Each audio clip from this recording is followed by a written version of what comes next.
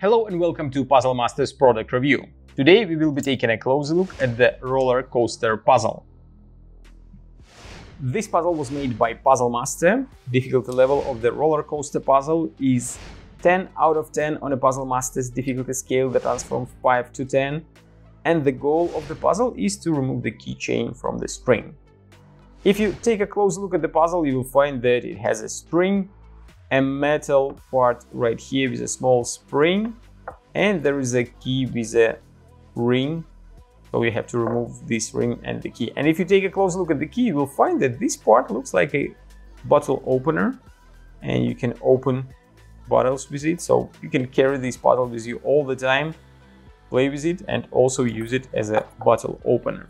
So it has two options for this bottle not only a toy but also a useful device.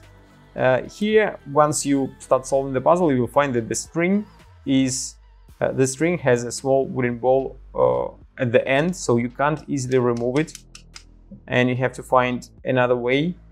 if you try to move the string around the spring, you will find that it looks impossible again because of the wooden ball and you can't easily just move it out. And even if you can do something tricky and remove the string a little bit, you will find that it looks there are no other possible ways how to solve it.